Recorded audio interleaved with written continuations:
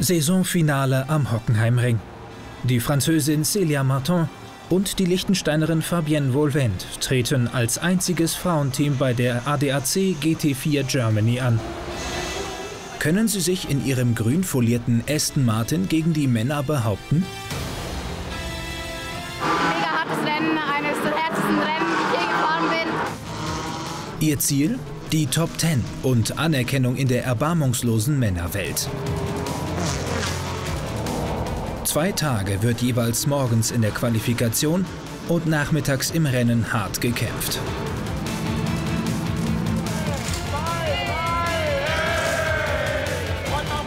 Ihr Rennteam Pro Sport Racing ist erfolgsverwöhnt.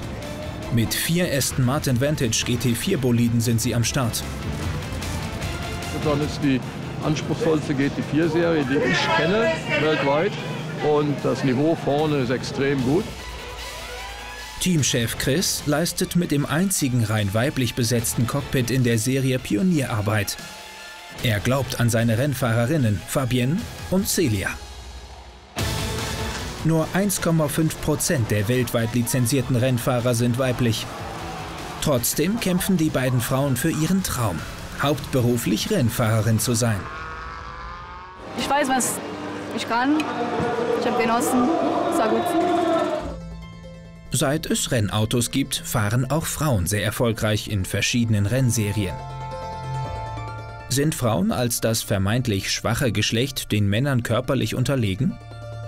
Als ich angefangen bin, leider ja, sehr wenige Frauen auch im Motorsport gegeben. Und als ich aufgewachsen bin, muss ich sagen, ähm, war Rahel Frei in der DTM ähm, unterwegs. Und ich weiß noch, ich war in der Schweiz im, im Go-Kart unterwegs und sie haben mir damals einen Pokal übergeben. Die Schweizer Rennfahrerin ist seit drei Jahrzehnten im Motorsport in verschiedenen Rennklassen zu Hause. In ihren zwei Jahren DTM lässt Rahel Frei viele Männer langsam aussehen. Körperliche Unterlegenheit? Bei Michel Mouton Fehlanzeige. Sie gilt als die erfolgreichste Fahrerin der Rallye-Sportgeschichte. 1981 fährt sie beim Weltmeisterschaftslauf der Rallye San Remo die Männerwelt in Grund und Boden.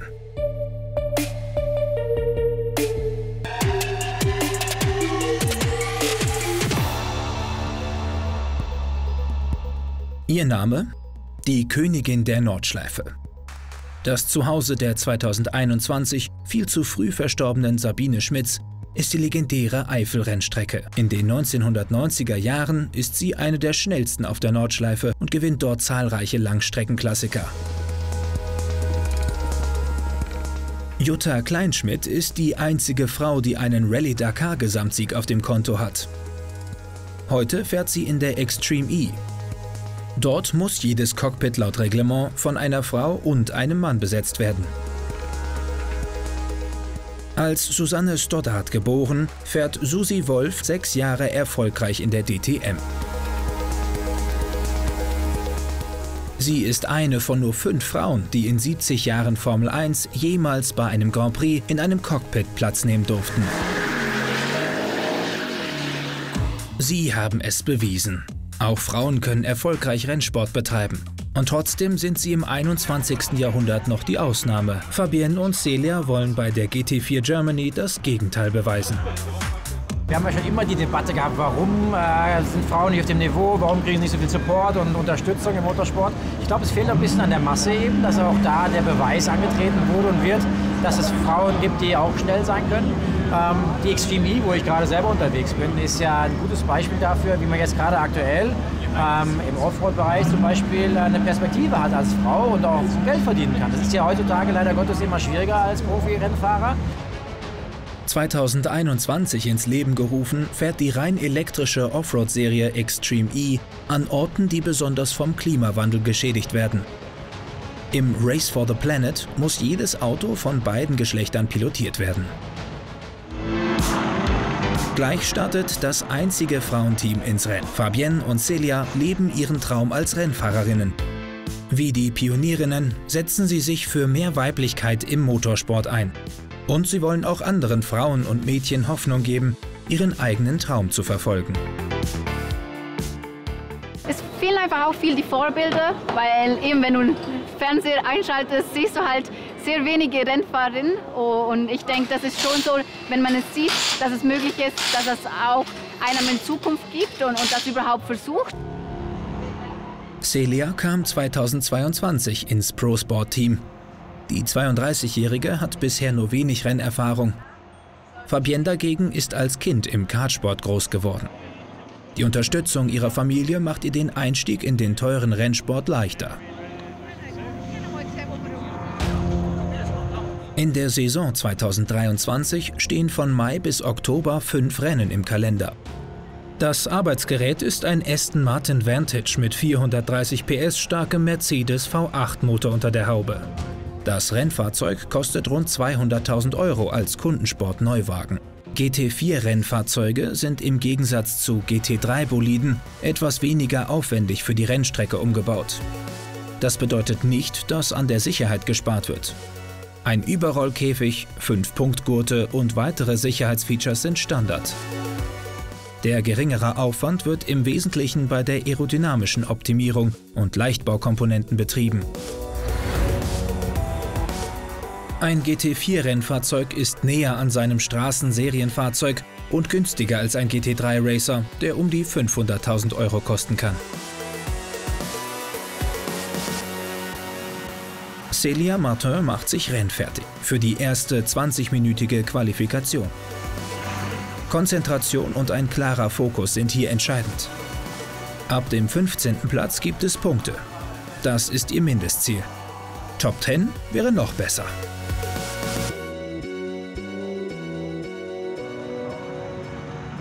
Wir sind hier, Hockenheim, gleich mal Zeit für Qualifying 1. Sie ist im Auto, ich natürlich auf Reserve. Ähm, sie wird auch heute Nachmittag den Start fahren und ich werde das Auto dann übernehmen. Natürlich, letztes Mal Sachsenring, Top-Platzierung mit Platz 12.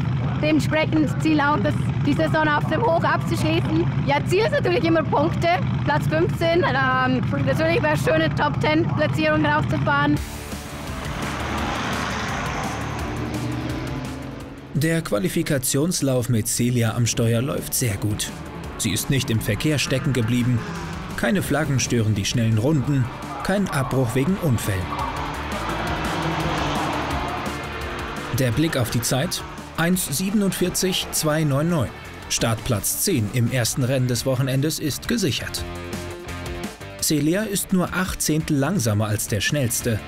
Die ersten 15 Plätze liegen knapp eine Sekunde auseinander. Hier zeigt sich das hohe Fahrerniveau. Ein erfolgreicher Auftakt ins Rennwochenende. Für das gesamte Pro Sport Team läuft es an diesem Samstag richtig gut.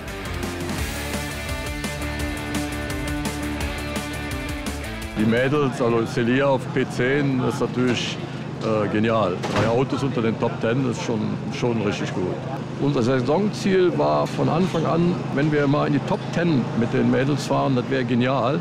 Und äh, jetzt im Qualifying Top 10, äh, das hätte ich nicht erwartet, wirklich nicht erwartet. Also bin auch richtig stolz auf die Mädels und auch auf das ganze Team. Mit dem Erfolg des Qualifyings steigen die Erwartungen für das Rennen. Können Celia und Fabienne die gute Startposition im Rennen halten? Oder vielleicht sogar ausbauen? Erfolge wie diese sind das Resultat akribischer Vorbereitung. Diszipliniertes Training und technische Analyse dürfen da nicht fehlen. Der Arbeitsalltag der Rennfahrerinnen beinhaltet mehr als nur am Wochenende Vollgas geben. Ich fahre eigentlich schon mein ganzes Leben Autorennen. Ähm, als Siebenjährige wollte ich eigentlich mal einen Pony haben und ja, das gab es nie. Und mein Papa ist mega Motorsport begeistert, ähm, hatte früher aber keine finanziellen Mittel oder Möglichkeiten, irgendwas in, in der Richtung zu machen. Und wir sind eigentlich per Zufall über einen Bekannten zum Go-Kart ge gekommen. Eigentlich von meinem großen Bruder Raphael, der ist zwei Jahre älter als ich. Und dann sind wir auf eine kleine Kartbahn in der Schweiz gefahren. Und ich war nicht da zum Zuschauen. Und dann hat mich aber mein Bruder gepusht, das auch mal zu, auszuprobieren. Und dann bin ich ein paar Runden gefahren und ja, bin ausgestiegen, Visier geöffnet und gesagt, Papa, das will ich auch. Der Einstieg in jungen Jahren über den Kartsport ist der klassische Weg in die Profiklassen. Somit ist gewährleistet, dass die Sportlerinnen und Sportler sich entwickeln können und die Rennsport-Basics in Fleisch und Blut übergehen. Um für die körperlich anstrengenden Rennen fit zu bleiben, sind die Sportschuhe ein ständiger Begleiter. Was für Fabienne Alltag seit Kindertagen ist, dafür hat sich Celia Martin aus Frankreich erst im Alter von 30 Jahren aktiv entschieden.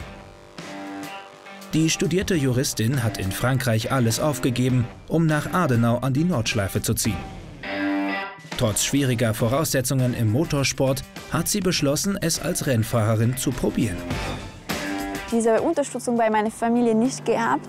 Ähm, mehrere Gründe. Eins, weil war überhaupt kein Budget da. So, es war einfach nicht mehr in Frage. Also ich habe nicht gefragt, oh, aber ich möchte gerne Go-Kart fahren. Ich wusste, das war einfach nicht möglich. Ähm, von daher, das ist auch der Grund. Deswegen habe ich auch meinen mein Abschluss, also ganz das Studium gemacht, weil ich dachte, okay, dann mache ich einen Job und dann mit diesem Job fahre ich einfach Autos. Ich habe deswegen spät angefangen. Wenn die Mittel fehlen, ist Rennsport fast unerreichbar, egal ob Mann oder Frau.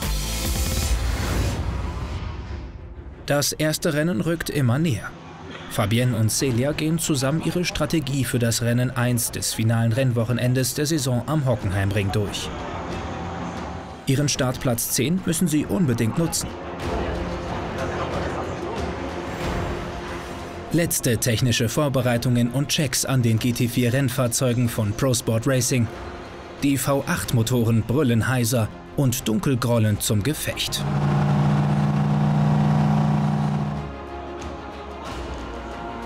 Celia wird als Startfahrerin ins Rennen gehen. Letzte Besprechungen mit dem Teamchef und Kollegen, um auf die Tücken des Rennens besser vorbereitet zu sein. Verhilft die gute Ausgangsposition den Frauen zum erträumten Erfolg?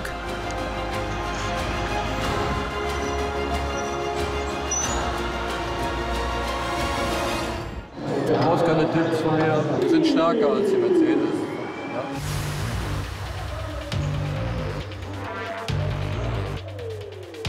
Also jetzt natürlich Highlight, 10. Platz, das möchten wir natürlich nach Hause fahren. Und ja, jetzt heißt Daumen drücken und let's go. Nach der Einführungsrunde ist das Rennen mit fliegendem Start eröffnet. Celia behauptet sich zunächst, doch dann folgt Bekanntschaft mit der Umgebung.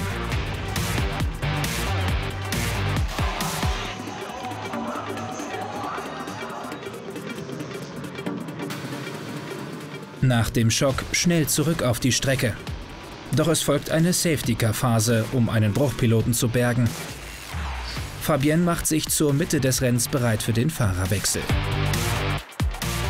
Ja, natürlich, schade. Start war eigentlich mega gut. War sie eigentlich sicher auf Platz 14 und ich weiß nicht genau, was war, ob da irgendwie Öl oder eine Flüssigkeit, irgendwas auf der Strecke war. Aber ja, es ist da ja, ein bisschen ausgeritten, aber für andere Autos auch. Also denke ich fast, dass da was, ja, Kühlflüssigkeit, Öl oder irgendwas auf der Strecke war.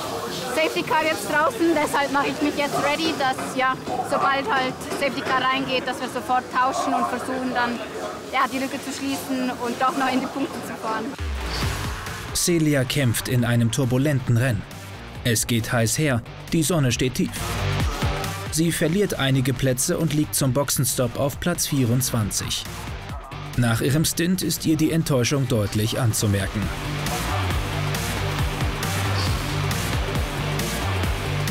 Alles scheiße. Einfach so. Ja, versuche irgendwie gemütlich, nicht voll aggressiv einzugehen, einfach zu folgen, dann zwei Kontakt und dann Safety Car die ganze Zeit. Scheiße. Fabienne bei der Aufholjagd. Kann sie noch Punkte rausholen?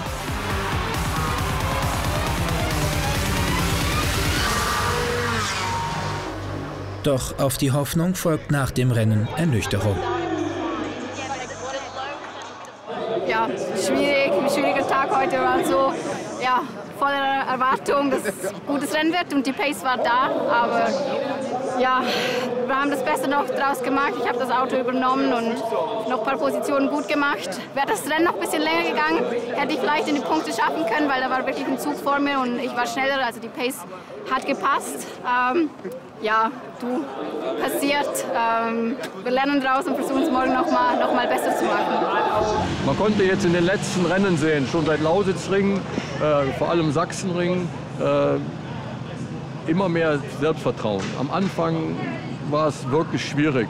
Äh, äh dann hat es wieder mal geklappt, dann wieder nicht, dann standen sie wieder im Kiesbett, äh, äh, Dreher, also das ganze Programm. Der erste Renntag des Saisonfinales am Hockenheimring verläuft wie eine Achterbahnfahrt. Die Hoffnungen nach Startplatz 10 enden im turbulenten Rennen auf Platz 19. Leider keine Punkte, aber der zweite Renntag steht noch bevor. Letzter Rennen der Saison hier und äh, das ist der Fabian-Tag, sage ich so, weil sie fährt jetzt ein Quali. Das wird spannend. Und zunächst läuft es für Fabienne. Die 26-Jährige kann sehr gute Zeiten auf den Asphalt zaubern. Zwischenzeitlich liegt sie auf Rang 3. Doch nach einem Unfall eines anderen Teilnehmers wird die Quali durch eine rote Flagge beendet. Und ihre gute Rundenzeit wurde wegen Track Limits aberkannt. Mann, das waren jetzt 46,3 gewesen. Ich mal gerade ausfahren können. So. Ja, also ohne Schimpfwort ist es ein bisschen schwierig. Ähm, ja, nein, halt mega schade. Erste Push-Runde war, war eigentlich perfekt, war eine 46,5.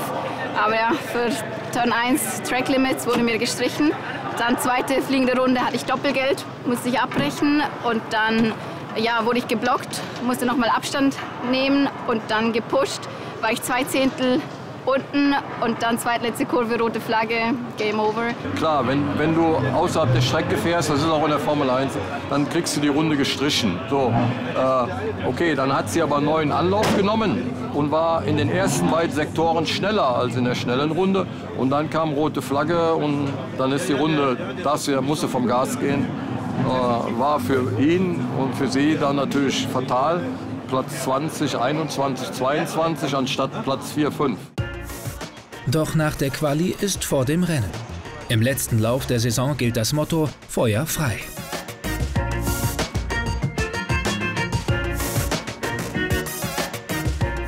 Ich hoffe, dass wir das Pech für dieses Wochenende jetzt aufgebraucht hatten. Mittlerweile, glaube ich, äh, äh, entgegen allen Kritikern äh, liege ich gar nicht so falsch. Wenn man jetzt äh, die zwei Qualifyings gesehen, das Pech gestern im Rennen, äh, heute Morgen die Runde gestrichen, rote Flagge. Äh, äh, Fabienne wäre auf P5 gewesen. Die wäre definitiv auf P5 in dem Quali gewesen. Celia auf P10. Da hätten noch vor zwei, drei Monaten mich alle ausgelacht. Das letzte Rennen. Die Ampel wird grün. Fabienne als Startfahrerin kämpft sich durch den Verkehr. Dank ihrer Kondition und Erfahrung kann sie sich gut behaupten.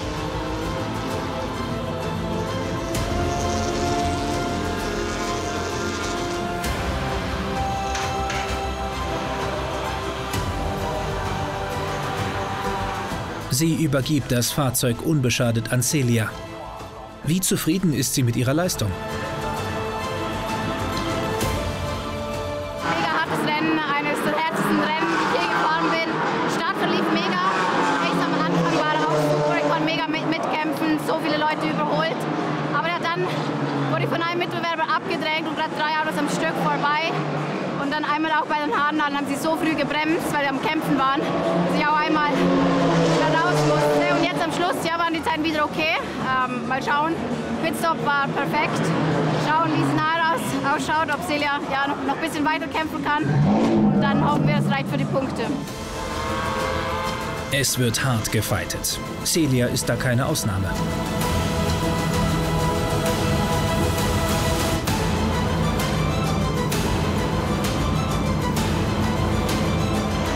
Doch für Punkte oder gar die Top 10 reicht es am Ende leider nicht. Ja.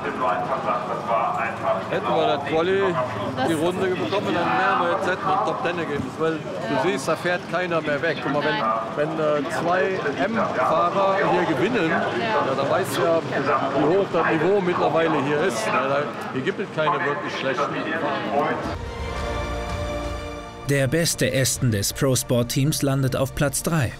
Celia und Fabienne beenden das letzte Rennen der Saison auf Platz 22. Mit den lang ersehnten Punkten ist es im Abschlussrennen nichts geworden. Woran es letztendlich lag, schwer zu sagen. Eventuell einfach Pech? Mal verliert man, mal gewinnt man. Das ist Alltag im Motorsport. Ich bremse, ich bin daneben, ich lenke einfach, er lenkt auch gegen mir dann.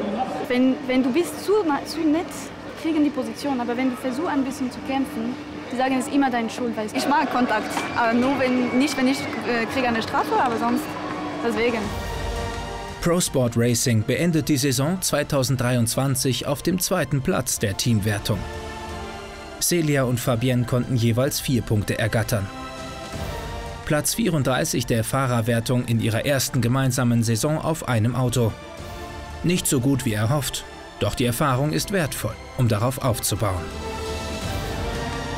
Erste Achtungserfolge für sich konnten die Rennfrauen erreichen, Kritiker überraschen. In der nächsten Saison werden Celia und Fabienne wieder zusammen Vollgas geben, um den Männern zu beweisen, dass Frauen im Rennsport vorne mitkämpfen können.